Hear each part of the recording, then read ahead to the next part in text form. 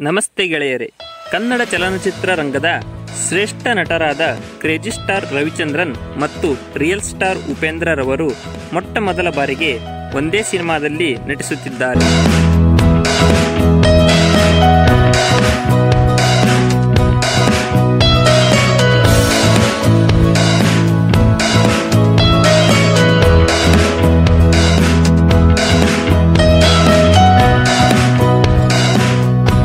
ಈ ಚಿತ್ರಕ್ಕೆ ರವಿಚಂದ್ರ ಎಂಬ ಟೈಟಲ್ ಇಡಲಾಗಿತ್ತು.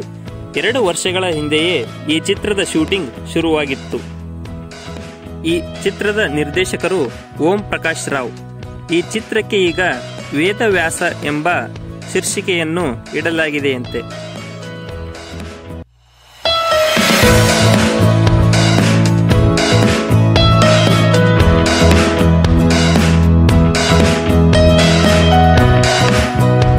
ರೊಮ್ಯಾಂಟಿಕ್ ಆಕ್ಷನ್ ಚಿತ್ರ ಇದಾಗಿದ್ದು, ಈ ಚಿತ್ರದಲ್ಲಿ ರವಿಚಂದ್ರನ್ ಮತ್ತು ಉಪೇಂದ್ರ ಸಹೋದರರಾಗಿ ಕಾಣಿಸಿಕೊಂಡಿದ್ದಾರೆ.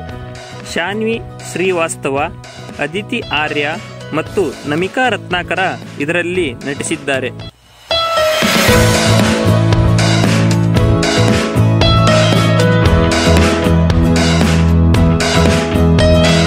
ಈ ಚಿತ್ರಕ್ಕೆ ಅರ್ಜುನ್ ಜನ್ಯ ಅವರು ಸಂಗೀತ ಸಂಯೋಜನೆ ಮಾಡಿದ್ದಾರೆ.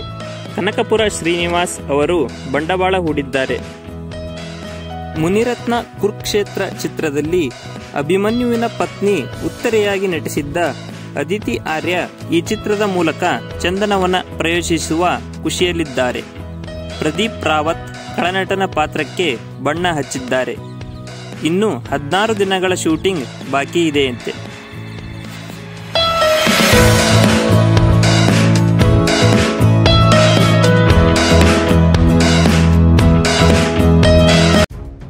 ಹಾಗೆಯೇ ಉಪೇಂದ್ರ ಅವರು ಆರ್ ಚಂದ್ರು ನಿರ್ದೇಶನದ ಕಬ್ಜ ಚಿತ್ರದಲ್ಲೂ ನಟಿಸುತ್ತಿದ್ದಾರೆ. ಭೂಗತ ಲೋಕದ ಸುತ್ತ ಇದರ ಕತೆ ಹೆಣೆಯಲಾಗಿದೆ.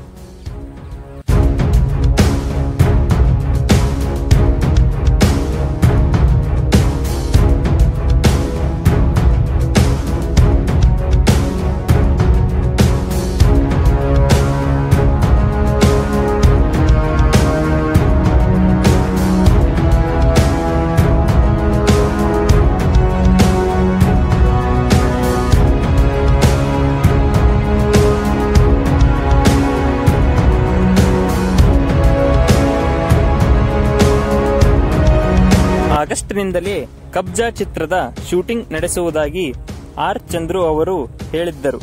ಆದರೆ ಕೊರೋನಾ ಸೋಂಕಿನ ಪ್ರಕರಣಗಳು ಹೆಚ್ಚಳವಾದ ಪರಿಣಾಮ ಸೆಪ್ಟೆಂಬರ್ನಿಂದ ಈ ಸಿನಿಮಾದ ಶೂಟಿಂಗ್ ಆರಂಭಿಸಲು ನಿರ್ಧರಿಸಿದ್ದಾರೆ. ವೀಕ್ಷಕರೇ, ಇದಿಷ್ಟು ರವಿಚಂದ್ರನ್ ಮತ್ತು ಉಪೇಂದ್ರ ಅವರು ಒಟ್ಟಾಗಿ ನಟಿಸುತ್ತಿರುವ ವೇದ ವ್ಯಾಸ ಚಿತ್ರದ ಒಂದಿಷ್ಟು ಮಾಹಿತಿಯಾಗಿದೆ. ಈ ವಿಡಿಯೋ ನಿಮಗೆ ಇಷ್ಟವಾದರೆ ದಯವಿಟ್ಟು ನಮ್ಮ ಚಾನಲನ್ನು ಸಬ್ಸ್ಕ್ರೈಬ್ ಮಾಡಿ. ಹಾಗೆಯೇ ಪಕ್ಕದಲ್ಲಿ ಕಾಣುವ ಬೆಲ್ ಐಕಾನ್ ಕ್ಲಿಕ್ ಮಾಡಿ ಶೇರ್ ಮಾಡಿ.